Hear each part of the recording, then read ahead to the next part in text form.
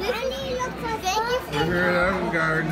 Thank you for saying, I mean, thank you for um, taking us to Olive Garden, giving us jackets, and um, letting us be on News 2, on News Twelve, two times. This was the best day of my life, and I can't wait um, for other people to experience it too.